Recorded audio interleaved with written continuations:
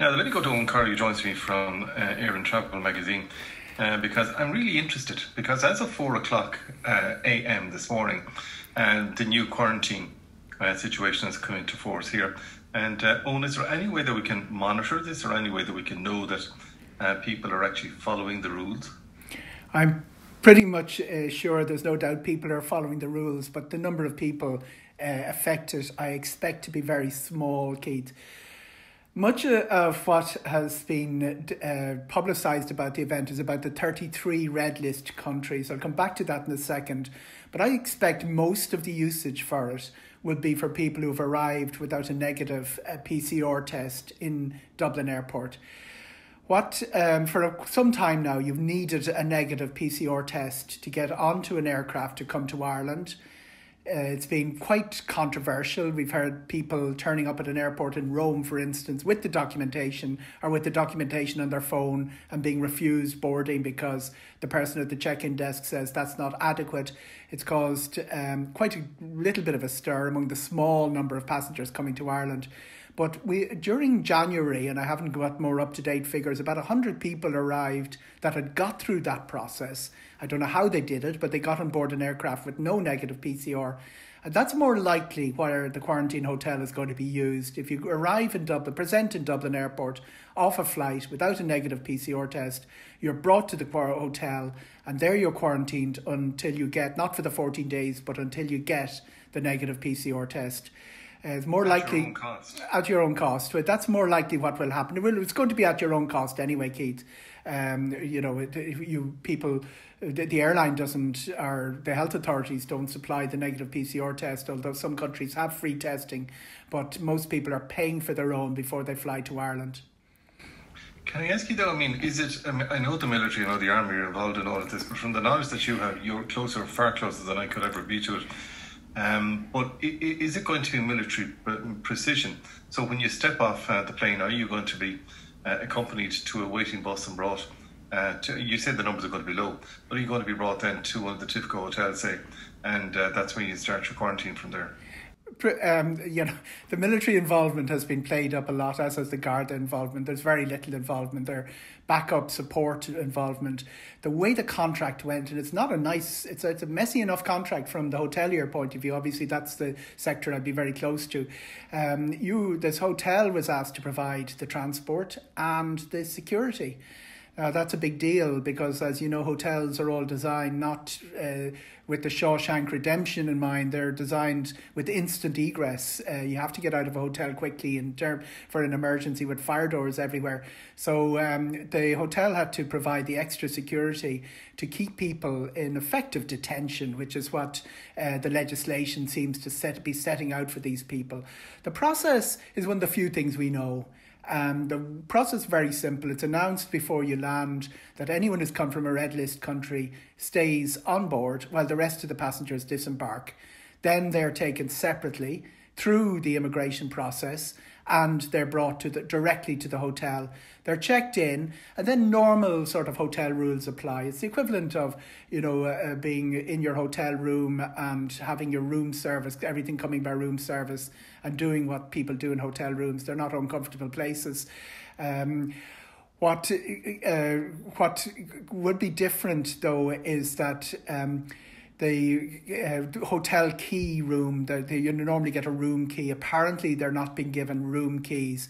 But you've got to remember, and this is something that hasn't shown up in the narrative, in the debate, is that a lot of Irish people have done quarantine in hotels. Since the start of this crisis, about 12,000 people have arrived in Ireland they have not had a, a family or a rental property or anything to go to. So they've chosen to do the self isolation, which we all have to do since uh, March last. They've chosen to do that in a hotel, 12,000 of them without incident.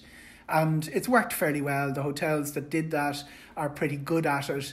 They know what's required. People are required not to mix, much the same as we are experiencing under level five lockdown, and it works. Um, the whole uh, the, the whole palaver about mandatory hotel quarantine has been that um, people coming from you know high risk countries are somehow going to keep variants at bay or reduce the uh, spread of COVID within Ireland. You know the cases, the HPSP, HPSC uh, figures, Department of Health figures uh, released only twenty minutes ago say that the grand total of imported cases in the country now is fifty seven out of seven thousand five hundred nine 57.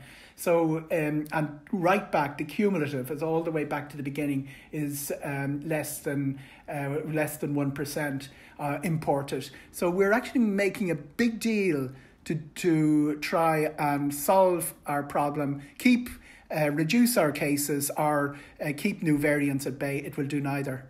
Mm. I would think um, from a quarantine point of view, the first maybe one, two or three days would be a novelty but when it gets to day 12, I'd say you could be really cheesed off looking at the four walls of that room. And I take it that um, there'll be no cleaners coming in to clean the room, and or otherwise you'll, you'll, you'll be there on your own, you know. Yeah, the cleaning process is another one that uh, the hotels will do. They leave their hotel room free for three days. Uh, then they do a complete clean, wipe down, hospital style, uh, complete uh, wipe down of the room, and then it's clear again. From the hotel point of view, also, they cannot mix other guests. So you have, um, you know, uh, your entire hotel taken up by the Department of Health, uh, by the government, and while people are being charged, they're being charged for this 14 day mandatory quarantine, uh, the taxpayer is paying a very hefty bill. The number of security guards is going to be very high. They're all paid by the taxpayer. Uh, the army backup, all of that is probably coming. That will be paid anyway. And um, the, the obviously a contract where they have to take out entire hotels to house these people is much more expensive than just um, taking out a, a, floor of a room. It would. It's a bit difficult for a hotel because if they've existing business, they have to relocate them. A lot of airport hotels would still have business from air crews, uh, people like that coming in. To make ma- the 33 countries, uh, most people would know what they are now. The two main ones are Brazil and South Africa. In most, a lot of South American, a lot of uh, Africa, a lot of African countries on it, but two very odd ones. One is Austria uh, the European C, uh, CDC in, uh, released their map yesterday, which showed the positivity rate. Uh, one of the countries, one of the few countries below 4%, is Ireland. Another is Austria, and yet Austria is on the red list. The most controversial of all, though, uh, Keith, is the United Arab Emirates. Uh, everyone coming from Dubai and Abu Dhabi with Emirates or Etihad even if they've only been there for two hours, have to go into 14 day mandatory hotel quarantine.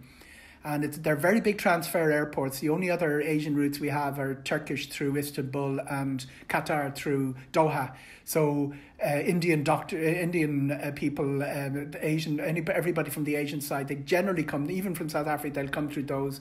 And the other, even pe- people from Dubai, and remember, the 75% uh, of the population of Dubai has been vaccinated at this stage, have got their second vaccine in most cases. People who are coming from Dubai, having been vaccinated twice and presented their negative PCR test before the flight, because everybody has to do that anyway. Everybody arriving is, has presented a negative PCR test. So they are being told you must do the mandatory 14 day hotel quarantine, effective Shawshank redemption as well. It's going to cause a lot of problems for Emirates and Etihad um, bringing people over, and they're not just passenger routes, they are two of the most important uh, trade export flights to Asia from Ireland. I could name about four Irish companies that will probably not succeed or probably go under, may go under, if the Emirates export outlet is uh, cut off to them. And there's certainly uh, it's a it's a very dangerous situation for the for the connectivity of those flights. Totally created by this mad notion that 14 day mandatory quarantine will help tackle our COVID pri- pro- uh, problem, which it won't. People in cruise as well. Well, thanks for joining us. Uh, Always a pleasure, Kate. And uh, very good morning, Chet. That's Eoghan Corry joining us there. We are